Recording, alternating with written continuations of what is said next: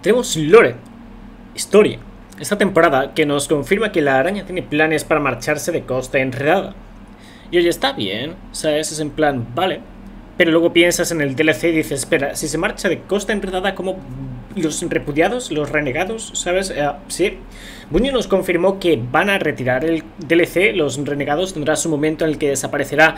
Destacaron cosas como el hecho de que la historia del cuervo ha avanzado tanto que no tiene sentido que sigan hablando del Ultron y cuervo al mismo tiempo puede ser confuso, entre otras muchas cosas como el hecho de que cada año nos confirmaron retirarían destinaciones y es...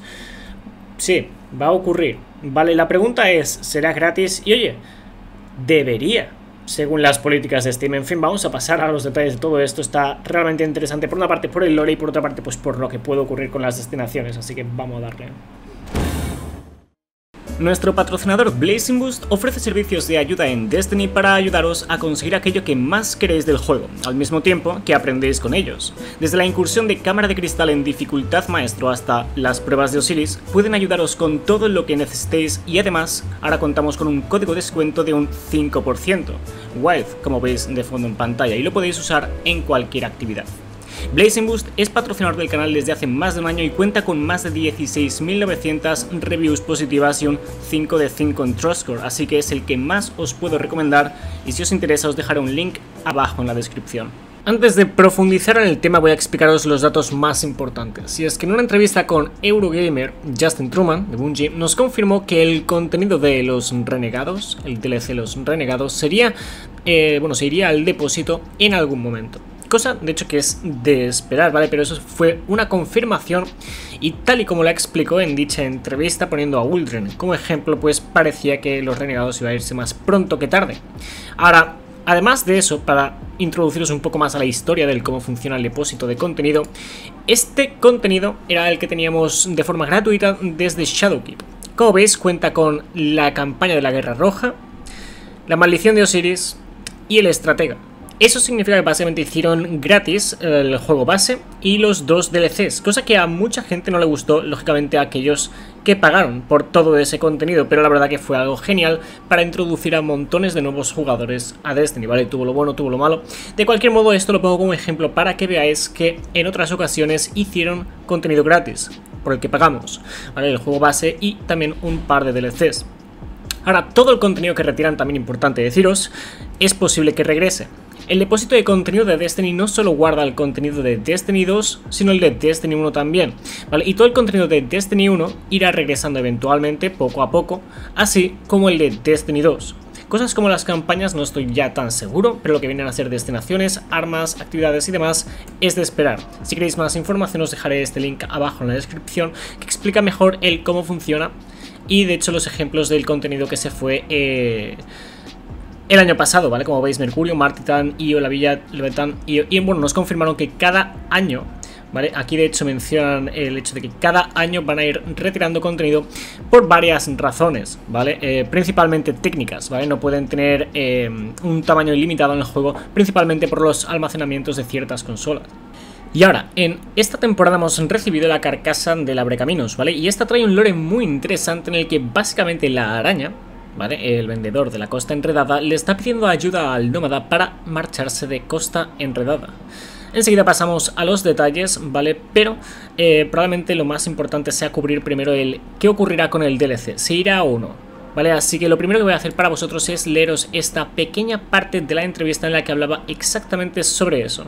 Le preguntaron, cuando se trata del depósito de contenido, ¿Cómo lo juzgas para no retirar las cosas demasiado pronto? Por ejemplo, tal vez tenga sentido que Nessus se vaya porque es un planeta de Destiny 2 de año 1, pero sé que hubo alguna respuesta de la comunidad destacando que pagaron por el juego base de Destiny 2 y algunas áreas del DLC como Marte, que desde entonces han sido retirados al depósito contenido y no están contentos con ello. ¿Cómo juzgas eso? ¿En función de lo que los jugadores han comprado y lo que se siente demasiado pronto? Por ejemplo, ¿Retirarías el contenido de los renegados en algún momento? ¿Cómo, tratas esos temas? Le preguntan. Justin Truman de Bungie dice, el contenido del, el contenido del DLC Los Renegados será retirado en algún momento. Creo que de la misma manera que no queremos 8 incursiones, lo mismo ocurre con las historias. No queremos que cuando un nuevo jugador ingrese a Destiny haya 5 historias distintas que compiten entre sí. Nada más entrar al juego y... Algunas de ellas, Uldren, por ejemplo, ah, aparece como un buen tipo, ¿vale? Y en otras de ellas aparece como el malo de la historia. Y no está claro si las estás interpretando fuera de lugar y no puedes llevar un buen seguimiento de la historia. Eso la verdad tiene mucho sentido, ¿vale? Eh, como os digo, no es el motivo principal por el que retiran contenido, más bien por temas técnicos, pero eso la verdad tiene mucho sentido, sobre todo hablando de Ultron en particular, que este año ha tenido un gran desarrollo de personaje, dice. Queremos curar esa experiencia. Probablemente no vayamos en estricto orden cronológico, como, oh, el próximo destino de Destiny 2, que vino con X DLC de Destiny, será el próximo en ser retirado. En cambio, lo pensamos en términos de ¿Cuál de esos destinos u experiencias está afectando menos al ecosistema saludable en general? Es decir, cuáles se juegan más, menos, cuáles se prefieren. Y eso puede variar desde cuáles tienen las experiencias más emocionantes con las que queremos quedarnos, y también podría tener eh, que ver con el uso de combatientes. En plan, si nos deshacemos de esto, simplemente no va a haber tantos lugares donde encontrarnos cabal en Destiny. Eso también tiene bastante sentido, o lo mencionado anteriormente, sobre las historias como la de Uldren. Por otra parte, esto ya es mi explicación, la razón principal por la que retiran contenido, además de que para, encaje, eh, para que encaje ¿no? con el universo en constante evolución que es Destiny, en plan con la historia y demás, es el hecho de que hay un límite de almacenamiento, como decía, al menos para ciertas consolas y técnicamente están limitados en ese aspecto. Además de que es más fácil para ellos actualizar el juego y ciertas cosas, ¿vale? Si pueden controlar la cantidad de contenido que hay. Así que tienen que retirar contenido para traernos nuevo contenido. Además también de hacer regresar contenido de Destiny 1 y Destiny 2 también, que fue retirado, o que aún no hemos experimentado en el caso del contenido de Destiny 1 en Destiny 2. Que sepáis que lo que se va de Destiny 2 también puede aparecer de vuelta en el futuro. Ahora, hablando todavía del DLC Los Renegados y qué ocurrirá con él. En mi opinión, es muy probable que se marche, ¿vale? La carta de lore que estáis a punto de escuchar trata sobre la araña marchándose de costa enredada, lo que nos da a entender que van a haber grandes cambios o que será uno de los contenidos, de hecho, que serán eliminados, que se retirarán al depósito. En mi opinión parece bastante posible. Por otra parte, también destacar que en Ciudad Onírica vimos unas pirámides similares a las que vimos en, la evacuación del año pasado antes de perder las destinaciones que fueron invadidas por dichas pirámides. ¿Vale? Esa pirámide, por cierto, la vimos en una cinemática del mismo juego, ni siquiera un tráiler, una cinemática en temporada de la caza. Así que es esperar que eventualmente esta temporada ocurra algo similar. Y posiblemente, posiblemente sea uno de los destinos que desaparezcan, quién sabe. Después de terminar con la maldición de Ciudad Onírica, sigue siendo un lugar muy importante, pero a menos que lo expandan, pues quizás no es tan importante por ahora y deciden retirarlo y traerlo de vuelta en el futuro. Es una idea. Vale, así que esas dos peligran por esas razones. Luego también podemos hablar de la zona muerta europea, sí es de las más antiguas y además de las que más pesan en el juego, es de las más grandes. Así que quién sabe también está ahí a la vista, al igual que Nessus. Claro que un tema importante a destacar es que Nessus es de lo poco que le queda a los Vex, a menos que tengan una nueva destinación, ah, es casi como que desaparecerán, quedarán algunos en Europa, pero es que ya han perdido casi todo lo más importante que tenían para ellos, ¿vale? Así que sí, es, en parte entendería que quitarán esos, que es de año 1, pero eso de los Vex es un dato interesante a considerar, así que no sabemos qué retirarán, ¿vale? Pero este dato sobre que la araña se marcha de Costa enredada parece indicar que Costa al menos es una gran posibilidad eh, de, bueno, de, de ser una de esas destinaciones que se marche. Ahora, una idea, una pregunta que quizás tenéis es, ¿harán el contenido gratis? ¿Lo pondrán gratis antes de retirarlo? Igual que hicieron con la campaña de la Guerra Roja, Maldición de Osiris, el Estratega las Forjas, eh, la Casa de las Fieras, básicamente todo. Ah, mucho contenido lo hicieron gratis, todas las incursiones de destino. ¿Harán lo mismo esta vez al retirar el contenido? ¿Lo harán gratis antes? Pues es posible. Eh, no solo porque lo han hecho anteriormente, sino por este dato en particular que, eh, del que he entrado a partir de aquí, de este post, por cierto os lo dejaré abajo en la descripción, que también trataba este mismo tema sobre la costa enredada, pero solamente tratando ese pequeño tema, sin mencionar todo lo anterior. Y esto me pareció muy interesante, y es que Chuwill Trike nos dice... El contenido no puede ser, eh, bueno, no pueden caducarlo, no pueden retirarlo, a menos que sea free to play, es decir, al menos que lo hagan gratis durante al menos un año, debido a la política de Steam. Ahora, ese es un dato realmente importante. Es un comentario muy apoyado, ¿vale? He estado buscando en lo de la política por todas partes, no he logrado encontrar el dato exacto, ¿vale? Algunos como que eh, si van a retirar algo free to play, tienen que avisar con al menos 90 días de antelación. Y oye, las, eh, perdón, las, las destinaciones también son free to play en cierto modo, ¿vale? Porque son accesibles, así que deberían uh, avisar. Bueno, eso ya supongo que es un poco más de cara a Steam. Era más que nada la cifra de 90 días, porque algunos en los comentarios decían que un año sería demasiado.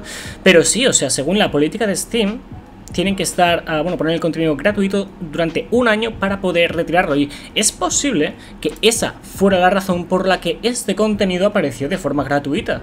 Quiero decir, fue muy sorprendente para nosotros, pero si tomamos en cuenta el dato que os acabo de mencionar, tendría sentido.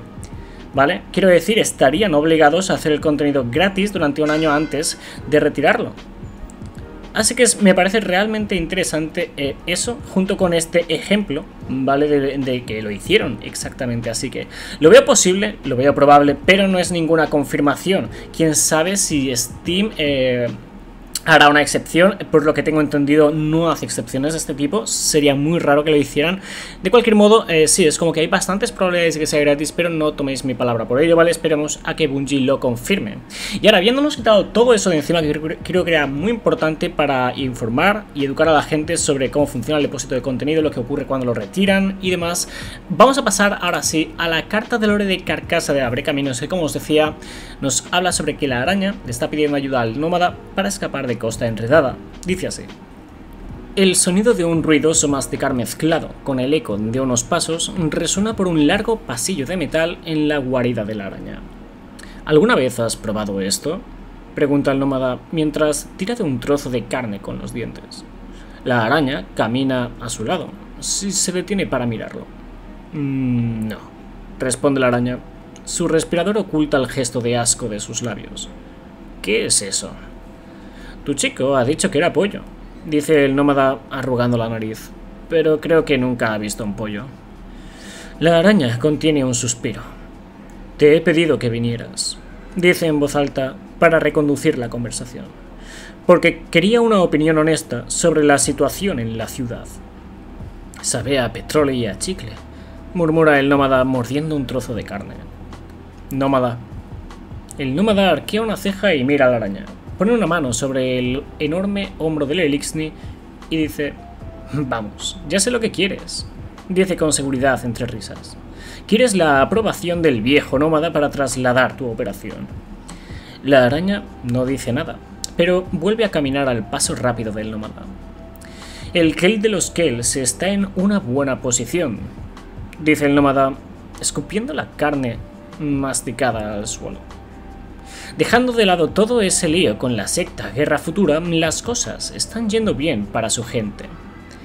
El nómada mira a la araña y chasquea los dedos. A la suya.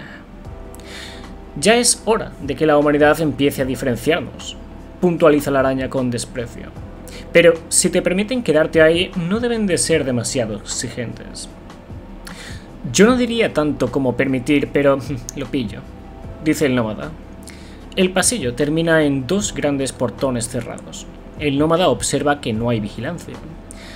Ahora que Marasov ha vuelto, creo que mis días en el arrecife están contados. Explica la araña mientras abre un panel oxidado e introduce un código de acceso. Las puertas vibran y se abren lentamente. Seguramente ella me tenga cierto resentimiento por lo de mi pajarito, añade riéndose. Y, sinceramente, parece muy rencorosa. Una luz brillante se extiende a través de las puertas abiertas y la sombra de la araña eclipsa al nómada. Así que no, dice la araña girándose a mirarlo. No quiero tu aprobación. La araña se hace a un lado para que el nómada vea lo que oculta el hangar. Una nave. Quiero saber si puedes sacarme a escondidas del arrecife. Ahí termina la carta. Así que datos importantes. La araña quiere escapar debido a que Marasov ha regresado y probablemente esté cabreada con lo que hizo con el cuervo. ¿Vale? y le ha pedido ayuda al nómada para escapar a escondidas del arrecife. ¿Cuál es realmente interesante? Entonces, por una parte esto me parece importante y bien de cara al desarrollo del personaje de la araña, que básicamente lleva ahí toda su pinche vida, ¿vale? Sin tener... ha tenido papeles importantes, pero siempre desde el mismo lugar. Y es en plan, parece que va a tener algún otro tipo de desarrollo de personaje próximamente. No solo eso, sino lo más importante, que es lo que llevamos hablando desde el principio del vídeo, es que parece indicar que va a haber un gran cambio en Costa Enredada y que posiblemente se trate de uno de los uh, destinos que eliminen. Como mínimo va a haber grandes cambios y eso se debe, como hemos dicho, pues debido a la presencia de Marasov, así que...